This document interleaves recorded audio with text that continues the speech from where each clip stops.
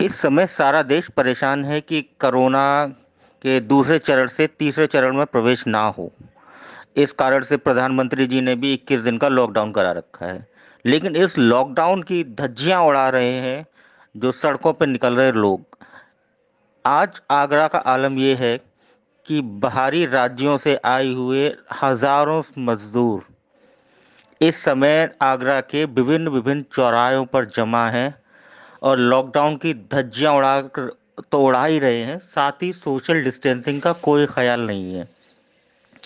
Police प्रशासन ने बसों की व्यवस्था करी है।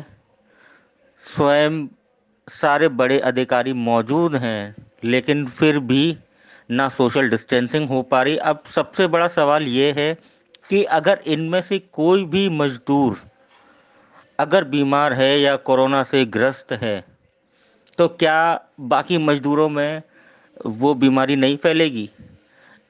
इस चीज़ का कोई इंतज़ाम नहीं हो पा रहा है।